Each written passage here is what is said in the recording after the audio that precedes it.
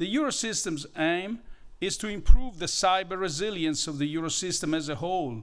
by enhancing the cyber resilience of financial market infrastructures, fostering sector resilience, and promoting collaboration in the form of joint initiatives.